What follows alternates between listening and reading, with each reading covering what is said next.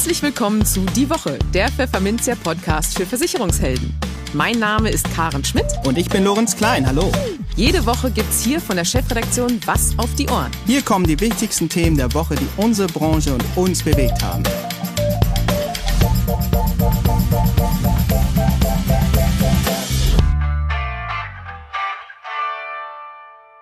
Moin aus Hamburg und herzlich willkommen zu Folge 69 unseres Podcasts. Heute ist Freitag, der 3. Dezember 2021. Und heute springt mal wieder Pfefferminzia Geschäftsführer Matthias Hess ein für unsere geschätzte Kollegin Karen Schmidt. Hi Matthias. Hallo Lorenz. Und diese Themen haben wir heute für Sie. Wir sprachen mit Norman Wirth, geschäftsführender Vorstand des AfW Bundesverband Finanzdienstleistungen, über den Koalitionsvertrag der Ampel und welche Chancen und Gefahren sich daraus für die Vermittlerbranche ergeben könnten. In den News der Woche geht es darum, wie es mit dem Garantiezins in der Lebensversicherung ab 2023 weitergehen könnte. Makler und Mehrfachagenten schieben sich im Vertrieb von Lebensversicherung erstmals auf Platz 1. Gesetzlich Krankenversicherten drohen Beitragserhöhungen und der aktuelle Pflegereport der Krankenkasse Barmer offenbart dringenden Handlungsbedarf im Bereich der Pflege. Und für unser Schwerpunktthema für den Monat Dezember Rückblick Ausblick gab Online-Marketing-Experte Marco Peterson einen Einblick, welche Lehren digitale Vorreiter der Versicherungsbranche aus dem Jahre 2021 gezogen haben und was sie sich fürs neue Jahr so vornehmen. Im Gespräch. Die Ampel steht, jubelte bald Kanzler Olaf Scholz am vorvergangenen Mittwoch und damit auch der Koalitionsvertrag, um den SPD, Grüne und FDP bis zuletzt gerungen haben. Aber was da eigentlich genau drin steht, blieb aufgrund der Verschwiegenheit der Verhandlungspartner lange Zeit ein großes Geheimnis. Insofern war das kollektive Aufatmen in der Vermittlerbranche besonders deutlich zu hören, als sich offenbarte, dass von der Ampel wohl keine bösen Überraschungen für die Branche zu erwarten sind. Oder womöglich doch? Wo Risiken lauern und welche Chancen das Vertragswerk birgt, berichtet uns der Vorstand des Bundesverbands Finanzdienstleistung AfW, Norman Wirth, im nun folgenden Gespräch. Hallo Herr Wirth, viele Grüße in die Hauptstadt. Ja, hallo Herr Klein, viele Grüße zurück. Ja, der Bundesverband Finanzdienstleistung AfW hat vergangene Woche mitgeteilt, dass man den Koalitionsvertrag von SPD, Grünen und FDP begrüße. War dazu gleich auch eine große Erleichterung bei Ihnen und Ihren Kollegen im Vorstand zu spüren, weil es viele Maximalforderungen seitens der Grünen oder auch der SPD gar nicht erst in den Vertrag geschafft haben. Stichwort Provisionsverbot bzw. Provisionsdeckel. Ja, ich würde das noch um ein Stichwort ergänzen, nämlich auch BaFin-Aufsicht. Ähm, ja, da war, da war große Erleichterung, das kann ich Ihnen sagen. Ähm, das war auch ganz spannend, weil äh, das haben ja alle auch mitbekommen. Da ist ja nichts nach außen gedrungen, fast nichts aus den Verhandlungen. Das ist ja ein ganz neuer Stil gewesen diesmal. Und insofern ähm, hat man dann auch gesehen, dass die eine oder andere, äh, das eine oder andere Presseorgan, Süddeutsche, Fokus, äh, wen hat man noch, sogar Handelsblatt, die haben wirklich in den letzten Tagen vor Veröffentlichung des Koalitionsvertrages nochmal richtig Panik geschürt äh, in der Branche, eben mit den Themen Provisionsverbot. Und man muss dazu auch sagen, das waren schon Themen, die waren dann bis in die Verhandlungs-, in die Hauptverhandlungsrunde, äh, haben es da mit reingeschafft. Die Grünen haben das insbesondere ziemlich forciert und äh, man war sich da lange nicht einig. Ähm, um, umso größer die Erleichterung tatsächlich, dass es äh, tatsächlich dazu gar nichts dann gab im Koalitionsvertrag. Weder das äh, Stichwort Provisionsverbot noch Provisionsdecke noch BaFin-Aufsicht über unabhängige Finanzdienstleister oder sogar Versicherungsmakler war drin zu finden. Nicht einmal etwas zum Thema Honorarberatung, was dann auch so eins der Triggerwörter war oder Stichwörter war, die wir als erstes da mal durch den Koalitionsvertrag gejagt haben. Mhm.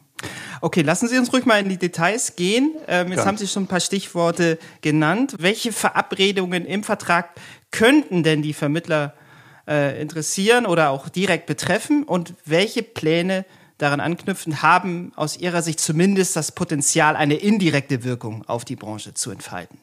Ja, da kommt ein bisschen was zusammen, das muss man klar sagen, auch wenn es im Koalitionsvertrag äh, recht schwammig formuliert ist. Also da gibt es zum Beispiel so den sinngemäß den Satz, dass das System der privaten Altersvorsorge grundlegend reformiert werden soll, ohne dass wir da auch nur ansatzweise konkret sehen, wie das gemeint ist. Das wird wirklich nur angedeutet. Ähm, da soll, ähm, das ist, das ist schon nicht mal nur die private, aber betriebliche Altersversorgung, Vorsorge soll gestärkt werden. Da soll also es die Möglichkeit geben, dass die An, dass es Anlagemöglichkeiten gibt mit höheren Renditen als bisher, was dann so viel heißt, wie äh, gewisse Garantien werden wohl dann rausfliegen. Es soll, und das ist ein sehr relevanter Punkt natürlich, es soll ähm, eine Versicherungspflicht für neue Selbstständige kommen. Ja, und das ist schon sehr klar formuliert an der Stelle. Nur neue Selbstständige, nicht wer jetzt schon selbstständig ist, äh, rutscht rein in die Pflicht. Da hat man dann also doch so einen Bestandsschutz. Und äh, das ist natürlich was, was für auch unsere Mitglieder relevant ist, weil da erschließt sich dann schon eine ganz neue ähm, äh, Kundengruppe, zumindest in Bezug auf dieses Produkt, was denn da kommt, weil die Versicherungspflicht äh, betrifft an sich die Pflicht in ein ähm, in die gesetzliche Rentenversicherung äh, einzutreten oder da übernommen zu werden. Aber es ist äh, mit einer Wahl, soll mit einer Wahlfreiheit ausgestattet werden. Das heißt, die neuen Selbstständigen haben die Möglichkeit des Opt-out. Die können sagen Nein. Daran geknüpft ist wiederum die Bedingung, dass die ein privates Vorsorgeprodukt haben.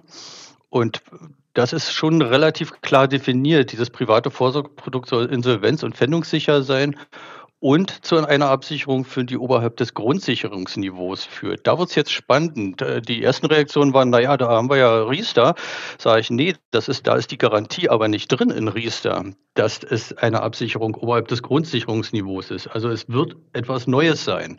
Entweder modifiziert Riester oder es wird ein, ein Lindner-Produkt oder was auch immer. Auf jeden Fall die sind da die Produkte.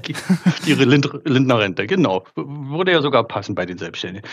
Was auch immer, die Produkte Produktgeber sind sicherlich dann gefordert, wenn der Gesetzgeber das dann geschärft hat. Das muss ja irgendwie noch in ein Gesetz gegossen werden.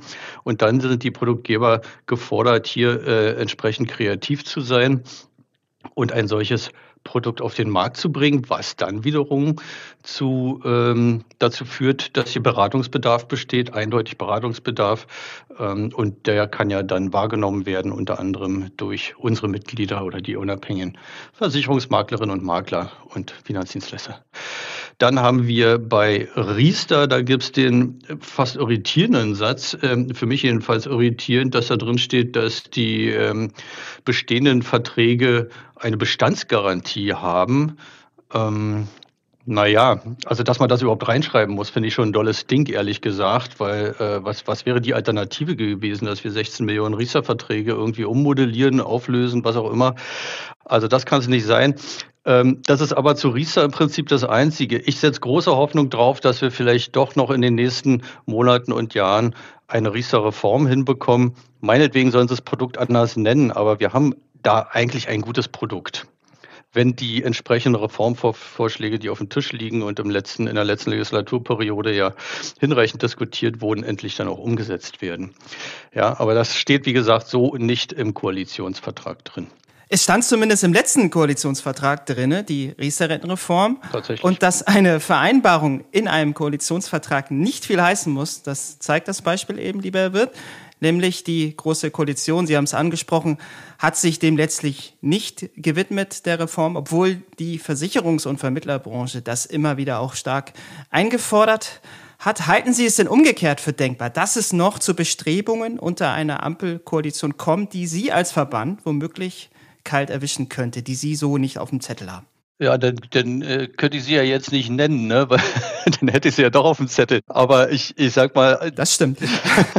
Dinge, die nicht im Koalitionsvertrag stehen, wie BaFin-Aufsicht oder ähnliches, ähm, die können natürlich tatsächlich noch kommen. Äh, die, die Grünen und auch die SPD hatten ja diese Themen in ihren Wahlprogrammen drin. Die Grünen wollten ein Provisions, nicht mal ein Provisionsdecke, das wollte die SPD. Die Grünen wollten ein Provisionsverbot, also einen schrittweisen Übergang hin zur Honorarberatung. Das steht nicht im Koalitionsvertrag, genauso wie die BaFin-Aufsicht. Aber wir haben ein SPD-geführtes Kanzleramt und das Kanzleramt, der Kanzler hat die Richtlinienkompetenz und damit kann er diese Themen natürlich jederzeit wieder auf die Agenda bringen. Das wird schwierig, weil ich denke, da ist eine rote Linie seitens der FDP gesetzt worden. Ansonsten hätten wir hier was im Koalitionsvertrag. Das äh, wurde mir so im Übrigen auch zugerufen aus FDP-Kreisen. Also die haben da sehr stark äh, die Fahne für unsere Branche hochgehalten. Das kann man ihnen, denke ich, an der Stelle nicht genug danken. Ähm, also Richtlinienkompetenz einerseits und zum Zweiten muss man wohl noch bemerken, dass ähm, zwar das Justizministerium bei der FDP jetzt äh, gelandet ist. Bisher war Justiz und Verbraucherschutz in einem Ministerium. Jetzt geht Verbraucherschutz hin zum ähm, grün geführten Superministerium für Umwelt, Naturschutz, nukleare Sicherheit und Verbraucherschutz. Und von da kann natürlich auch immer was kommen in Richtung ähm, Branche, in Richtung ähm, zum Beispiel Provisionsdeckel oder ähnliches. Ähm, da finden wir ja auch, dass im Koalitionsvertrag steht, dass die Finanzierung der Verbraucherzentrale Bundesverband entsprechend dem gestiegenen Bedarf angepasst werden soll. Ich habe den gestiegenen Bedarf, konnte ich bis jetzt nicht erkennen. Da sind, glaube ich, viele Aufgaben im Moment schon ritt und, oder, oder doppelt belegt zwischen den Länderverbraucherzentralen und der Bundeszentrale. Aber however, es steht so drin und ähm, da würde ich auch sagen, da kann man, da baut sich wahrscheinlich so ein Gegenpol dann auch zu, zum Lindner geführten Finanzministerium auf. Ja, wenn es so weit kommen sollte, dann werden wir das natürlich auch mit Ihnen wieder besprechen, wie die Entwicklung da voranschreitet. Das war Norman Wirth, geschäftsführender Vorstand des Bundesverbands Finanzdienstleistung AfW. Herzlichen Dank für das Gespräch. Sehr, sehr gerne. Bis bald. Die News der Woche. Die Deutsche Aktuarvereinigung, kurz DAV, hat am Montag ihre alljährliche Zinsempfehlung für die Lebensversicherung abgegeben. Danach soll der Höchstrechnungszins, umgangssprachlich oft auch als Garantiezins bezeichnet, für das Jahr 2023 unverändert auf dem Niveau von 0,25 Prozent belassen werden. Aktuell liegt der Wert noch bei 0,9 Prozent, sinkt aber zum 1. Januar 2022 auf 0,25 Prozent. Das hatte das Bundesfinanzministerium bereits vor einigen Monaten entschieden und folgte damit der DAV-Empfehlung aus dem Vorjahr. Warum der Wert auch für das Jahr 2023 beibehalten werden soll, begründete der DAV-Vorstandsvorsitzende Herbert Schneidemann so. In Anbetracht der wirtschaftlichen Unsicherheiten durch die Corona-Pandemie sehe man derzeit keine Anzeichen für eine spürbare Erholung der Zinsen in naher Zukunft. Zudem sei es noch zu früh, die langfristige Entwicklung der Inflation und die potenziellen Reaktionen der Europäischen Zentralbank zu prognostizieren, so Schneidemann. Mit der nun erfolgten Empfehlung wolle die DAV Planungssicherheit für die deutsche Altersvorsorge in äußerst unsicheren Zeiten schaffen, hieß es.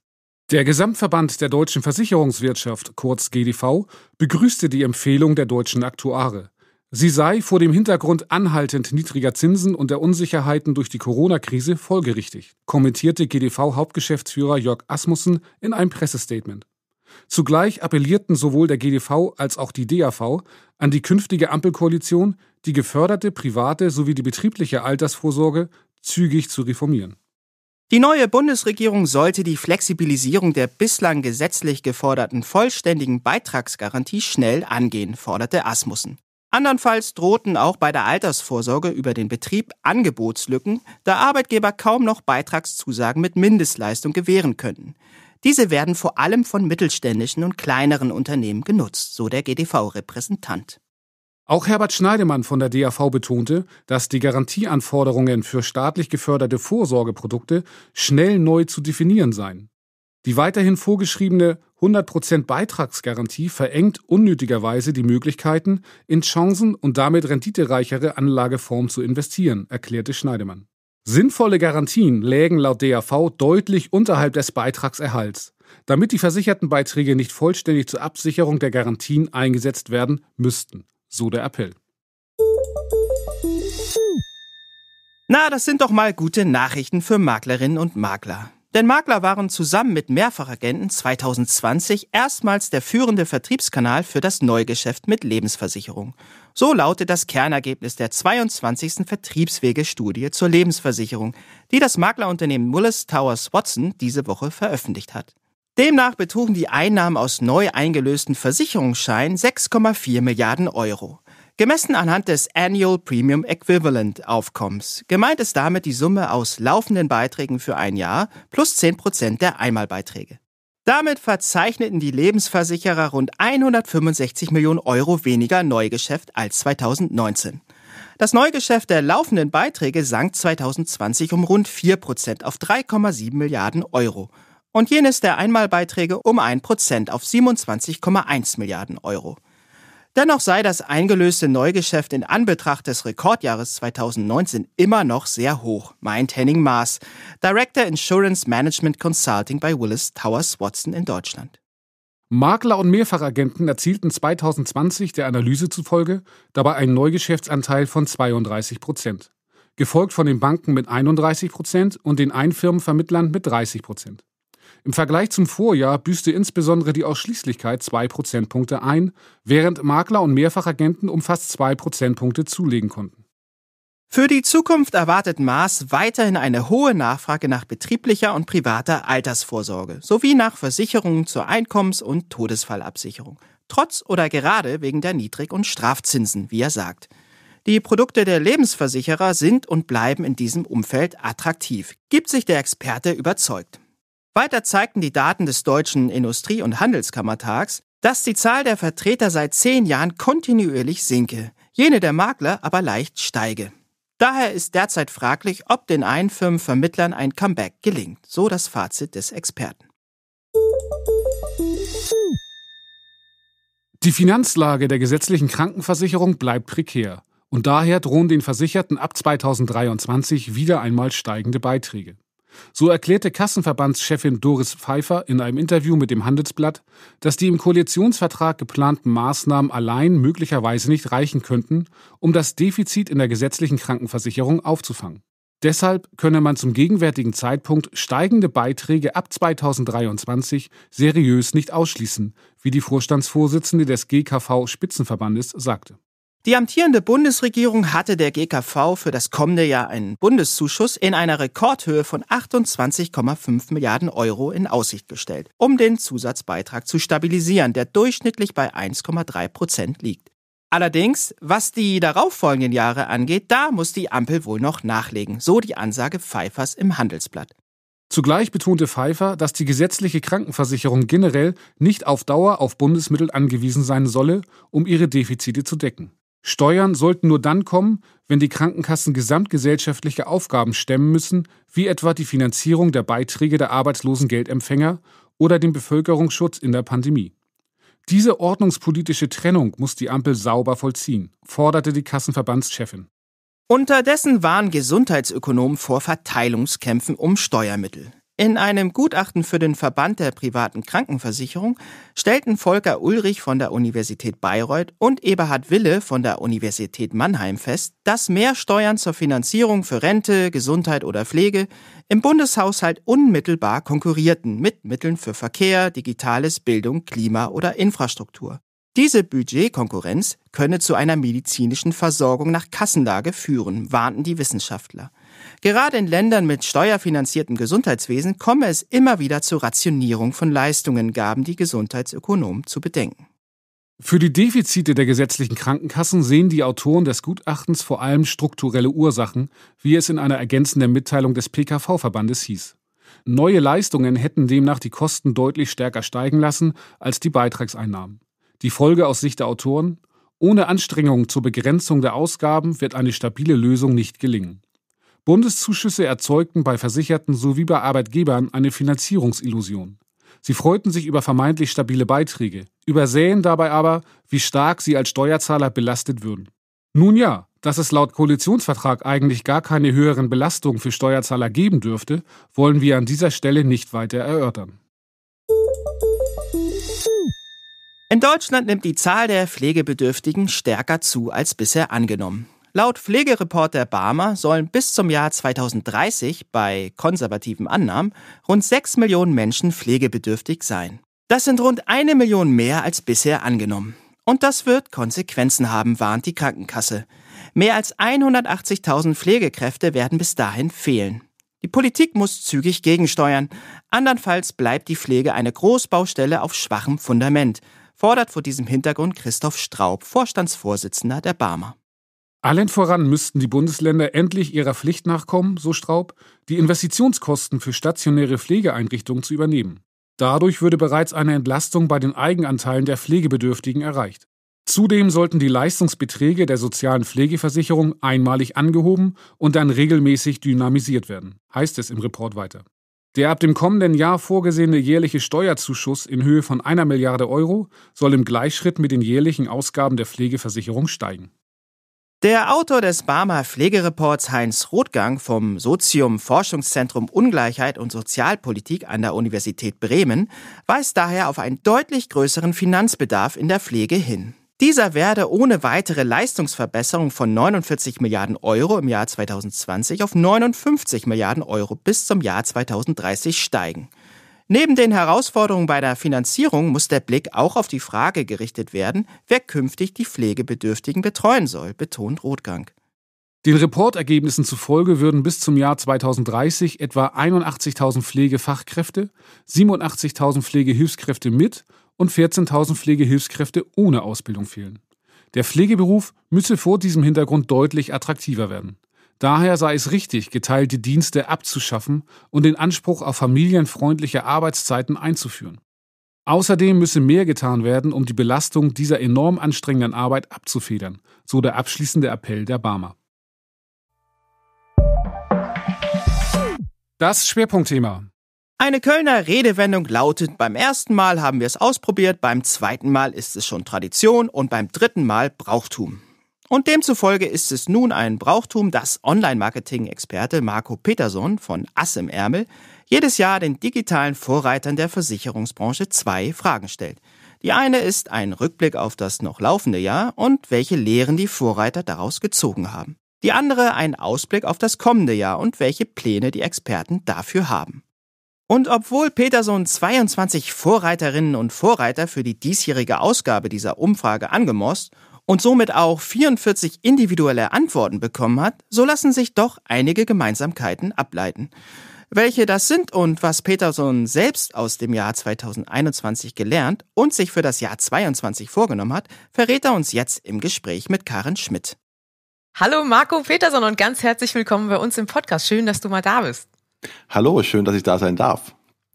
Ja, wir haben im äh, Dezember ja das Schwerpunktthema Ausblick ein bisschen auf das Jahr 2022 und auch Rückblick auf das jetzt vergangene 2021, na fast vergangene 2021, einen Monat haben wir noch.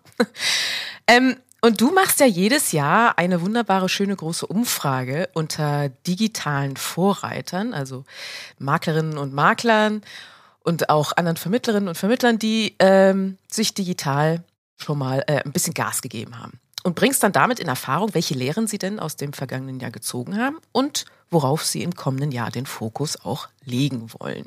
Fangen wir vielleicht mal mit einem Rückblick an, wie das ja um diese Zeit auch eigentlich üblich ist, dass man aufs vergangene Jahr zurückguckt. Lassen sich denn da ähm, aus den, ich glaube, 23 Vorreiterinnen und Vorreiter hast du befragt, Antworten erkennen, was, was so die Hauptlehren aus diesem doch ja auch wieder schwierigen Jahr sind? Ähm, ja, erstmal ja, es sind 23 gewesen. Und ähm, ist natürlich alles ziemlich vielfältig, ne? weil die alle wissen halt, was sie selbst machen müssen und haben halt unterschiedliche Wege gewählt online und deswegen haben sie auch unterschiedlichen Rückblicke quasi. Aber man kann doch schon ein paar Sachen einheitlich sehen. Und zwar gibt es so drei Punkte, die sich so rauskristallisiert haben. Das eine ist, das ist jetzt wenig überraschend, aber auch Sie haben auch erwähnt halt, dass Online-Marketing, Online-Kommunikation ist jetzt so in diesem Jahr endgültig in der Branche angekommen, ne? was jetzt nicht über, überraschend ist. also, ne, wir haben halt durch die, das zweite Jahr Corona quasi es nochmal verstärkt, aber ich glaube, gehört zu haben, dass es einfach so auf der, auf der Gegenseite halt auch angekommen ist. Ne? Die digitalen Leuchttürme, die sind sowieso da, online schon jahrelang da aktiv. Aber ich glaube, die merken halt auch, dass die andere Seite jetzt so jetzt endlich das akzeptiert hat. Ne? Das geht nicht mehr weg, das hat Vorteile und dass die es so gemeint haben. Das war so das, das erste, nennen wir es mal, Learning in diesem Jahr. Das zweite ist, dass ich ganz oft von denen gehört habe, äh, dass sich Kontinuität und Ausdauer auszahlen. Also auch jetzt nicht nur metaphorisch auszahlen, sondern halt so wirklich so monetär. Also die haben halt häufig gesagt, wir merken einfach, ich bin kontinuierlich am Ball geblieben, ich habe viel gemacht, aber ich habe halt auch damit jetzt Kunden gewonnen. Also sie können es halt wirklich auf der monetären Seite auch sehen, dass das, was sie jahrelang machen, die ganze Arbeit, die die reinstecken, sich auch wirklich auszahlt. Und ähm, das fand ich ein, ein schönes, interessante Erkenntnis. dass man halt auch sagt, zum einen Arbeit, es ist halt wirklich harte Arbeit, das sagen auch alle immer wieder, aber es zahlt sich halt auch aus, man kann es sehen, wenn man dran bleibt.